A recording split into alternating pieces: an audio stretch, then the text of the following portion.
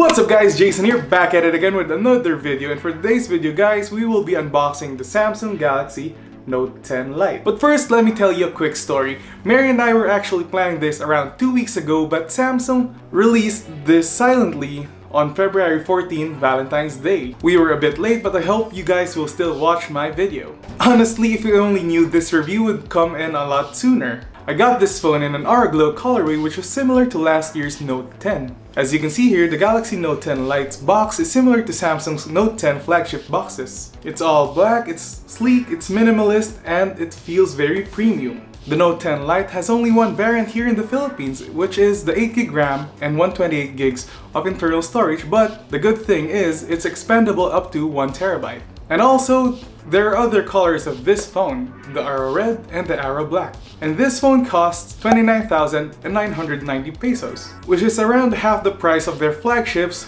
so we'll answer the question, is it really worth your 30,000 pesos? Upon opening the box, we'll find here another box which contains the SIM tool, and I'm pretty sure it contains the jelly case and the warranty cards. So we have the quick start guide, the warranty card, and the jelly case, and also the SIM tool. Next up is the phone itself, which again I got in an Aura Glow colorway, but let's set this aside for now. Underneath the phone we find the earphones, which, good news guys, it has a 3.5mm headphone jack.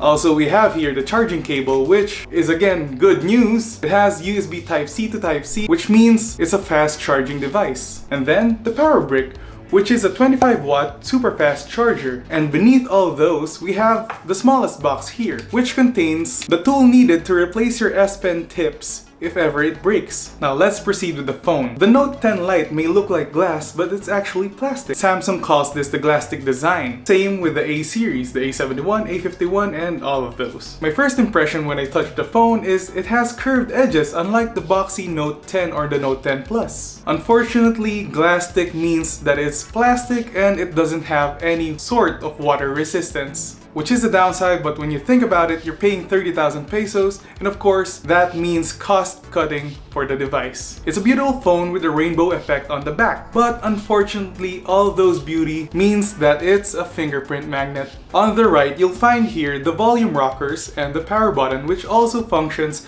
as the Bixby button. On the left, you find here a hybrid SIM tray which you can choose either dual SIM or a single SIM with expandable storage. At the top, You'll find here the antenna band and a microphone. At the bottom, you'll see a headphone jack, which is always nice to have, a USB Type-C port, a single firing bottom speaker, and of course, the S Pen. Now on to the display. It's a 6.7 Full HD Plus Super AMOLED Infinity O display that has 1080p resolution. Now unlike the flagship notes, the screen here is flat instead of curved. Now honestly, I like curved edges unlike Mary which she loves flat edges.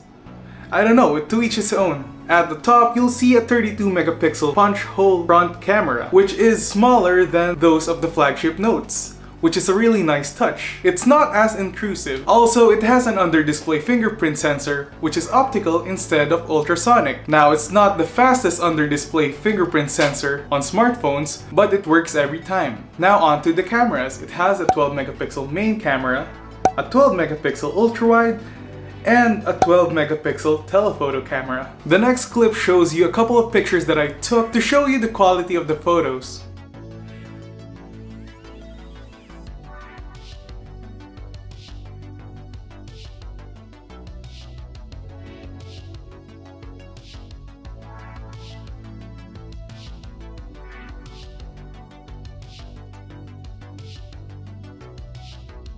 Now this phone has the Samsung Exynos 9810, which was also the chipset of the Samsung Galaxy Note 9. So it's a couple of years old but it still performs well. Playing high-end games is not a problem and multitasking is just a breeze. Again, the only variant in the Philippines is the 8GB RAM and the 128 gigs of internal storage, which is expandable up to 1 terabyte. Now on to the reason why I think you guys should get this phone. The S Pen.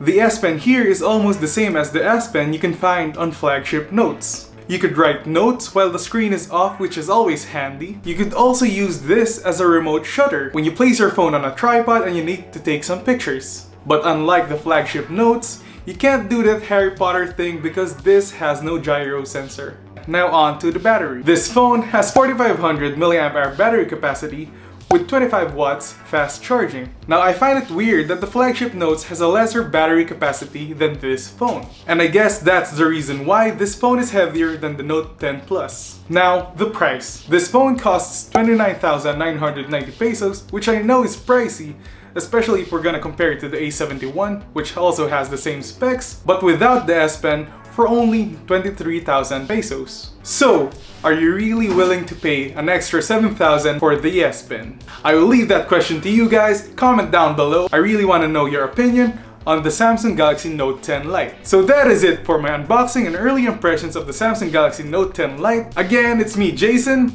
See you in the next one. Bye.